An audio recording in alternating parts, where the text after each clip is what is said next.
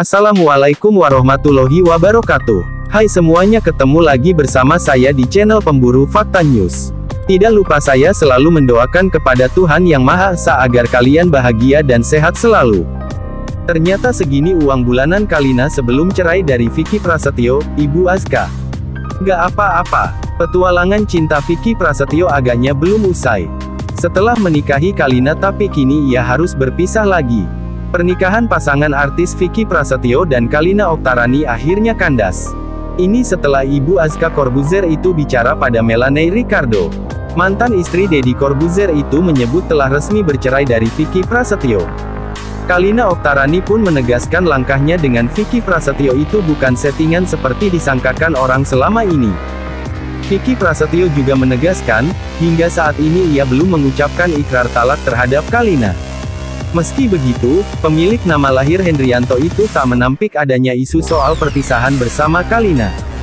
Ya, dari sisi Kalinanya kalau dia bilang perpisahan ya mungkin, tetapi kalau pribadi aku enggak ada talak, ujar Vicky Prasetyo di kawasan Tanah Abang, Jakarta Pusat, baru-baru ini.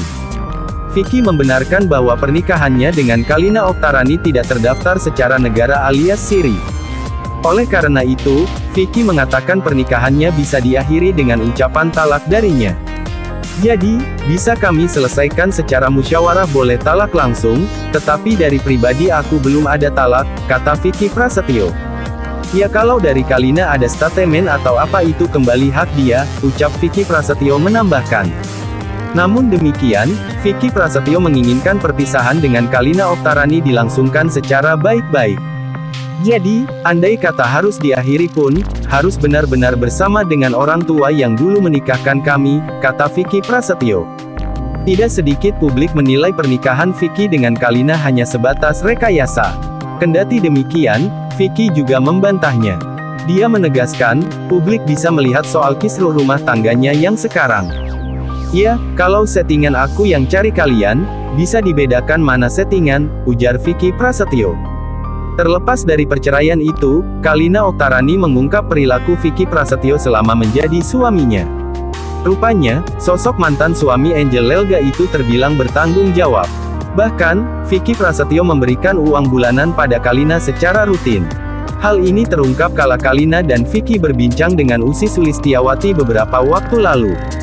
Ini terekam dalam video dari channel YouTube Usi Andika Official, tanggal 2 Juni tahun 2021 lalu. Kalina membongkar uang bulanan yang diterimanya saat masih menyandang status istri Vicky. Kala itu, Usi Sulistiawati penasaran soal anggaran bulanan yang dihabiskan oleh keluarga kecil, Kalina dan Vicky. Dia juga menanyakan berapa dana yang diperlukan untuk kebutuhan dapur selama satu bulan, tanpa menghitung dana imbal jasa para asistennya. Per bulan habis buat belanjaan belakang ya, bukan gaji-gaji yaitu sekitar berapa? Ujar Usi. Kalina pun menjawab dengan menyebut jumlah nominal. Kurang lebih ya, enggak apa-apa nih disebutin. Ucap Kalina. Usi pun memberikan ilustrasi agar Kalina memberikan jawabannya. Enggak apa-apa jadi biar tahu setiap rumah itu kadang punya beda-beda, kata Usi.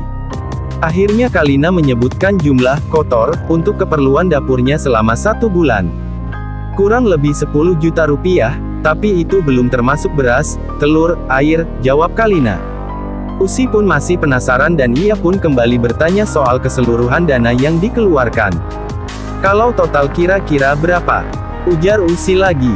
Kalina yang tak yakin dengan jawabannya itu, kemudian bertanya kepada Art berapa total uang dapur selama sebulan. Sang Art pun mengungkapkan kalau Kalina dan Vicky bisa menghabiskan uang dapur mencapai 20 juta rupiah lebih per bulan. Itu buat masak-masak kayak gini aja neng. Tetapi kadang-kadang kan ada yang buat apa, apa gitu kan. Jadi ada aja setiap hari, pasti di atas 20 ansi, ucapnya.